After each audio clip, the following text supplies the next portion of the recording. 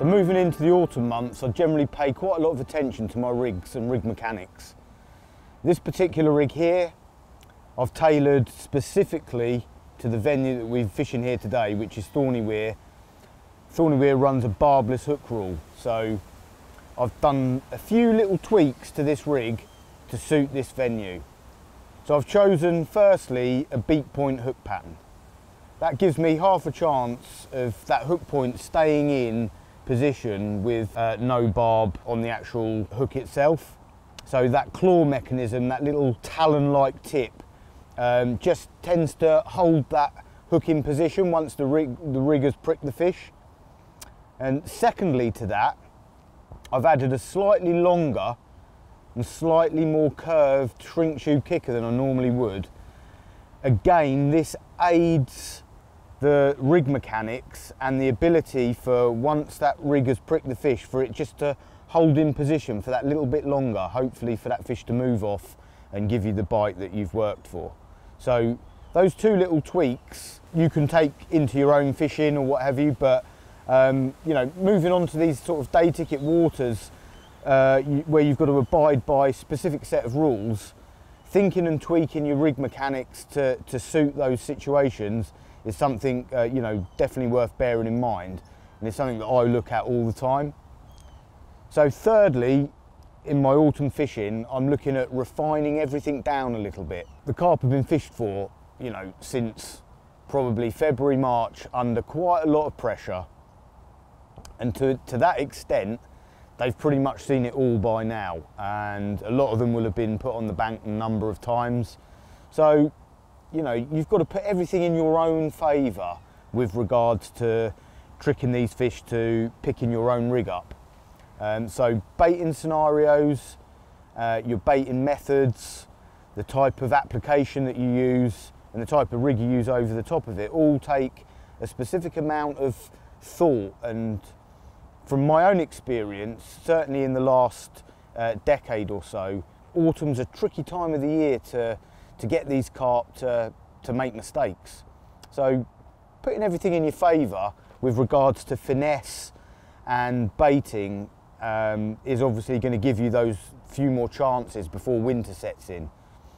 So first of all, my baiting scenarios will be uh, different to that of the summer. The, the mass baiting and larger items and a lot of boilies and whatever, that sort of starts to dwindle away as we reach the equinox.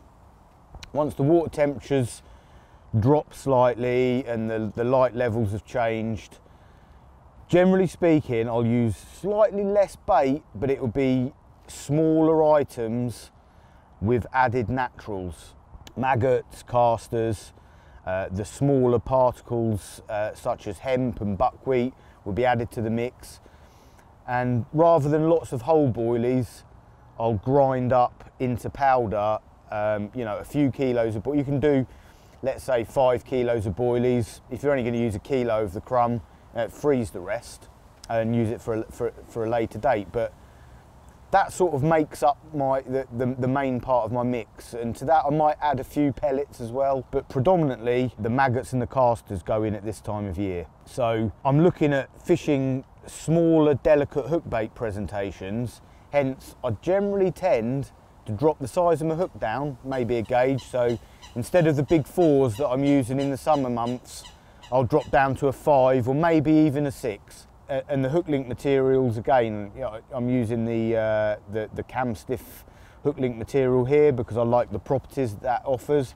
Um, but I've got the little break there, the little hinge uh, to allow a lot of free movement of the hook bait. And uh, rather than a 16 mil wafter, round boilie, which I'll probably be using in the summer months, I'm dropping down to the little barrel wafters here. So they're, uh, you know, they're a lot more uh, delicate. And on top of that, I'm just adding a small bunch of maggots, you know, only five or six, um, flossing them down on top of that wafter.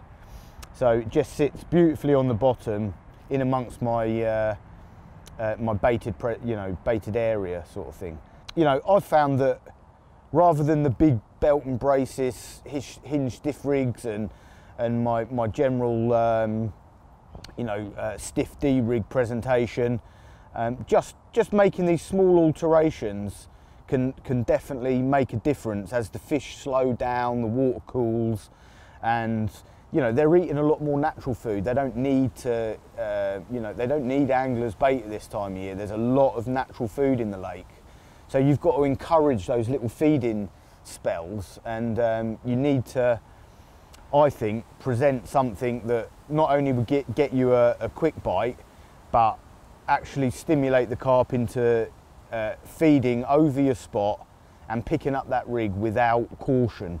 Um, so, you know, the maggots give it that, that, they sort of mask that, that dumbbell shape, but the dumbbell shape is uh, trimmable and it's less sort of obvious than a round bait. Uh, and I've found with the, you know, crumbing up the boilie and what have you, not giving them those big particles, um, I've found that you get a better reaction from the carp at this time of year. Right, so it's a pretty simple rig to tie. I'm going to tell you how to do it now.